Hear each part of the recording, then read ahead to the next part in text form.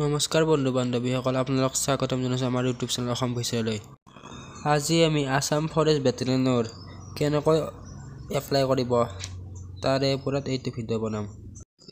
আপোনালোকে নিজে মোবাইলৰ জৰিয়তে অনলাইন কৰিব পাৰিব। ৱেবছাইটৰ লিংকটো ডাইৰেক্ট ডেছক্ৰিপশ্যনত দি দিম তাৰ পৰা আপোনালোকে ৰিডাইৰেক্ট হৈ যাব পাৰিব। ইণ্টাৰফেচ দেখিবলৈ পাব। আৰু যদি ডেস্কটপ ভাৰ্চনত কৰে ইয়াতে ডেস্কটপ চাইট কৰি কৰিব পাৰিব। যদি আপোনালোকে আগতে আছাম পুলিচত এপ্লাই কৰিছে যিকোনো পষ্টতে তেতিয়াহ'লে আপোনালোকে লগ ইন অপশ্যনত ক্লিক কৰিব লাগিব। আৰু যদি আপোনালোকে আছাম পুলিচত আগতে কেতিয়াও এপ্লাই কৰা নাই তেনেহ'লে ৰেজিষ্ট্ৰেশ্যন অপশ্যনত ক্লিক কৰিব লাগিব। ৰেজিষ্ট্ৰেশ্যন অপশ্যনত ক্লিক কৰাৰ পিছত আপোনালোকে ইয়াতে কিমান কেবিৰ ভিতৰত ফটো চাইজ লাগিব ছিগনেচাৰ লাগিব ডকুমেণ্ট লাগিব সেইবিলাক আহি যাব। ইয়াতে ফটোৰ চাইজ চাৰিশ পঞ্চাছ কেবিৰ কম হ'ব লাগিব আৰু ফটোটো এক জুলাইৰ পাছত উঠা হ'ব লাগিব আৰু ছিগনেচাৰটো একশ কেবিৰ কম হ'ব লাগিব। আৰু ডকুমেণ্ট ইয়াতে ডকুমেণ্টবিলাক পি ডি এফ হিচাপে লাগিব।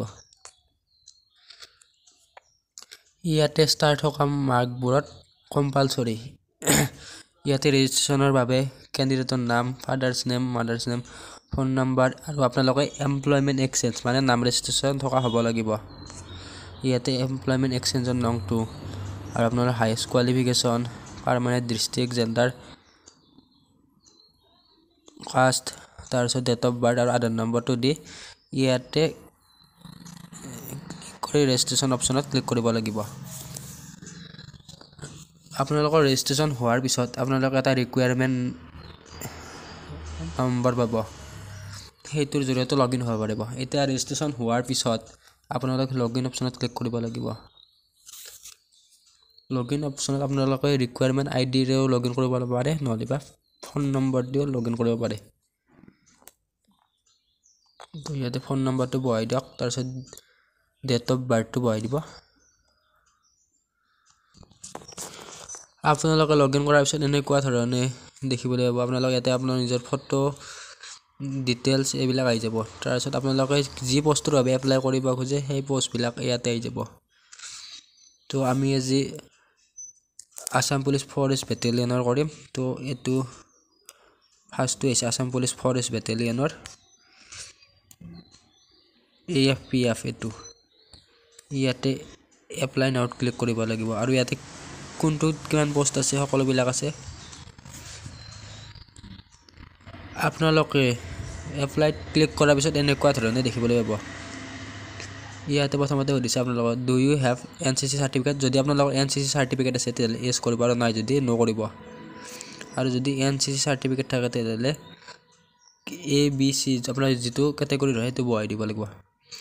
তো মই ইয়াতে ন' চিলেক্ট কৰিম আৰু যদি আছে তেনেহ'লে তাৰে চাৰ্টিফিকেটখনৰ পি ডি এফ আপলোড দিব লাগিব আৰু পি ডি এফটো দুইশ কিবিৰ কম হ'ব লাগিব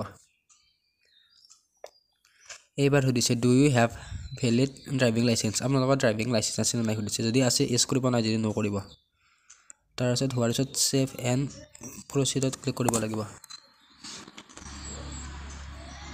আপোনালোকে এইবাৰ আপোনালোকে কি পষ্টৰ বাবে চিলেক্ট কৰিব পষ্টটো চিলেক্ট কৰিব লাগিব। ইয়াতে ফৰেষ্ট গাৰ্ড ছাবমিট ছাবমিটৰ পিছত ইয়াতে ছেভ এণ্ড প্ৰচিডত ক্লিক কৰিব লাগিব। তাৰপিছত আপোনালোকে ইয়াতে নিজৰ ডকুমেণ্টবিলাক আপলোড কৰিব লাগিব। ইয়াতে ষ্টাৰ থকাবিলাক আপলোড কৰিব লাগিব। ষ্টাৰ নথকাবিলাক আপলোড নকৰিলেও হ'ব আৰু যদি আছে কৰিলেও হ'ব। ইয়াত কাষ্ট চাৰ্টিফিকেট তাৰপিছত P R C P R C on কৰিলেও হ'ল নকৰিলেও হ'ল। এজ প্ৰুফ হিচাপে এডমিট কাৰ্ড বাৰ্থ চাৰ্টিফিকেট তাৰপিছত এমপ্লয়মেণ্ট এক্সচেঞ্জৰ চাৰ্টিফিকেটখন ফটো ছিগনেচাৰ ইয়াতে পাৰ্চনেল ডিটেইলছবিলাক ফিল আপ কৰিব লাগিব তো মই ইয়াতে পি দি লওঁ আৰু যদি আপোনালোকৰ আগতে এপ্লাই কৰাতে দিয়া আছে তেনেহ'লে নিদিলেও হ'ব ইয়াতে ভিউত চাই ল'ব পাৰিব ইয়াৰ মোৰ কাষ্ট চাৰ্টিফিকেট হয় তাৰপিছত ইয়াত পিয়াৰ চিকেন কিনে চাই ল'ব পাৰিব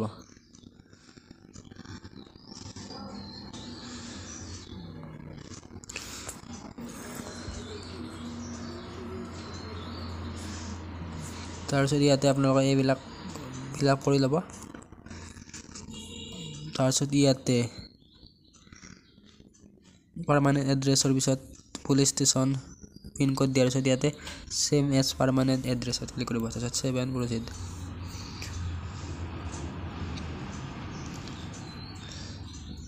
তাৰপিছত ইয়াত আপোনালোকৰ ক্লাছ টেনৰ ডিটেইলছ আহি যাব। আপোনালোকে কি ইনষ্টিটিউটৰ পৰাই হয় SEBA C B S E নে তাৰপিছত আপোনালোকৰ ৰোল নম্বৰ তাৰপিছত পাছিং ইয়াৰ পাৰ্চেণ্টেজ তাৰপিছত ইয়াতে ডকুমেণ্ট আপলোড দিব লাগিব। ইয়াতে ডকুমেণ্ট চাই ল'ব পাৰিব।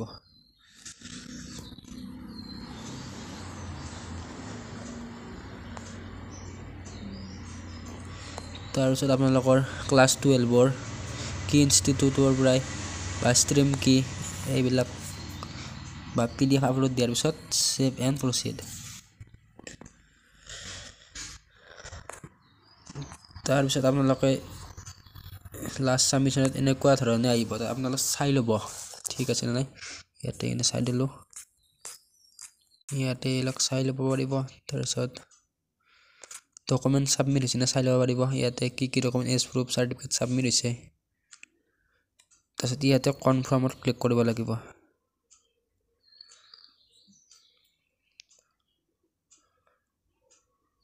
ইয়াতে আপোনালোকক ডাটাখিনি কনফাৰ্ম কৰি চাই ল'ব দিছে। তাৰপিছত আপোনালোকক ইয়াতে যিটো মোবাইল নম্বৰেৰে ৰেজিষ্ট্ৰেশ্যন কৰিছিল সেইটো নম্বৰত এটা অ' টি পি আহিব। সেই অ' টি পিটো এতিয়া বহাই দিব লাগিব। তাৰপিছত ছাবমিটত ক্লিক কৰিব লাগিব। ছাবমিট হোৱাৰ পিছত ছাবমিট হোৱাৰ পিছত এনেকুৱা ধৰণৰ হ'ব। তাৰপিছত আপোনালোকে যিটো বস্তুৰ বাবে এপ্লাই কৰিছিল ইয়াতে একশ্যনত একনলেজমেণ্ট ফৰ্ম বুলি আছে ইয়াতে ক্লিক কৰিব লাগিব। তাৰপিছত আপোনালোকৰ যি পি ডি এফ সেইটো পি ডি এফ ডাউনলোড হৈ যাব।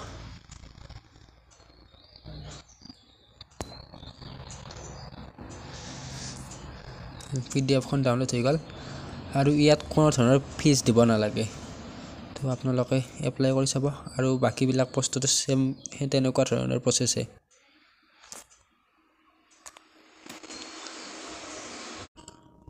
আপোনালোকে এডভাৰটাইজমেণ্টখন ডাউনলোড দিবৰ বাবে ডেছক্ৰিপশ্যনত থকা লিংকত ক্লিক কৰাৰ পিছত এনেকুৱা ধৰণে দেখিবলৈ পাব তাৰপিছত আপোনালোকে দহ ছেকেণ্ড সময় ৰখিব লাগিব।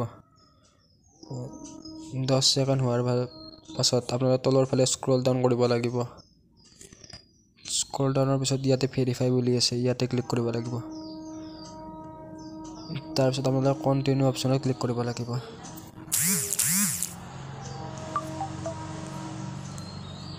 তাৰপিছত আপোনালোকে আৰু দহ ছেকেণ্ড সময় ৱেইট কৰিব লাগিব।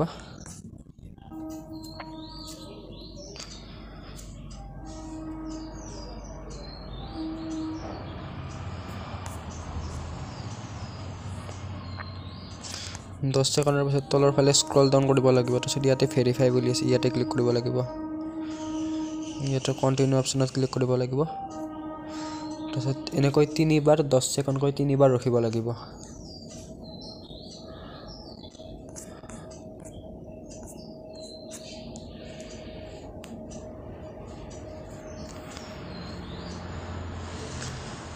ছেকেণ্ড হোৱাৰ পিছত তলৰ পৰা স্ক্ৰল ডাউন কৰি ইয়াতে ভেৰিফাই অপশ্যনত ক্লিক কৰিব লাগিব।